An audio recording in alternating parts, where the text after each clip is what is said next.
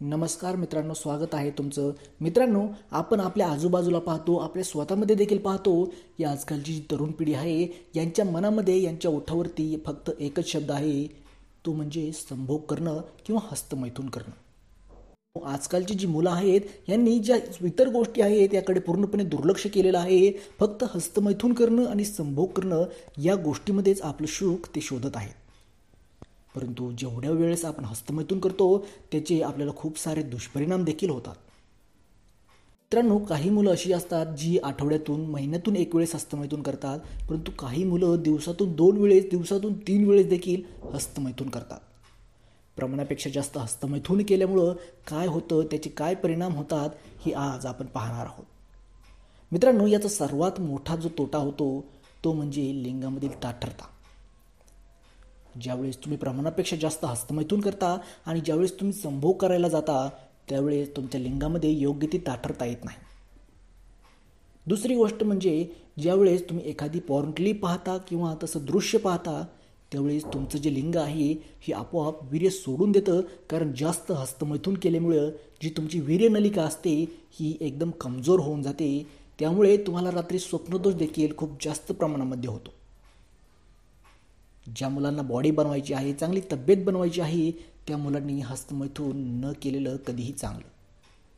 आपल्या वीर्यामध्ये खूप सारे प्रोटीन असतात जे आपल्या शरीराला आवश्यक असतात आणि आपण असं प्रोटीन वीर्यामध्ये बाहेर सोडत असतो.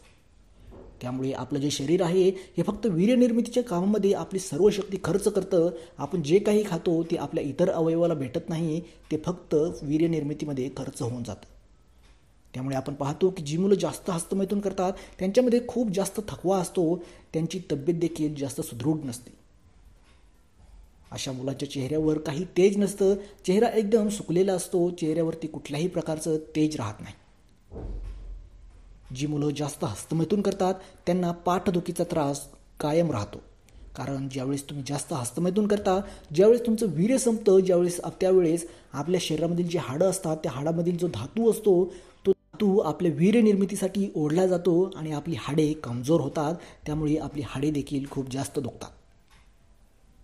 पुढची गोष्ट म्हणजे ज्यावेळेस आपलं लग्न होतं आपण आपल्या पत्नीसोबत मिलन करायला जातो त्यावेळेस आपण त्या ठिकाणी मिलन करू शकत नाही जास्त वेळ टिकू शकत देखील नाही.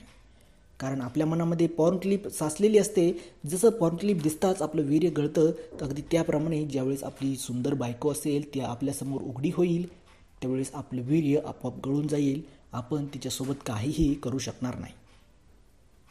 मित्रांनो पूर्णपणे हस्तमैथून बंद करायला कुणीही सांगत नाही परंतु प्रमाणापेक्षा जास्त हस्तमैथून करण्याचे खूप सारे तोटे आपल्याला नक्कीच होतात.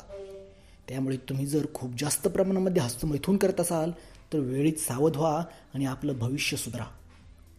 तुम्हाला जर हा व्हिडिओ आवडला असेल तर व्हिडिओला लाईक करा आणि चॅनलला सबस्क्राईब करून शेजारी असलेलं बेल आयकॉन देखील प्रेस करा. धन्यवाद.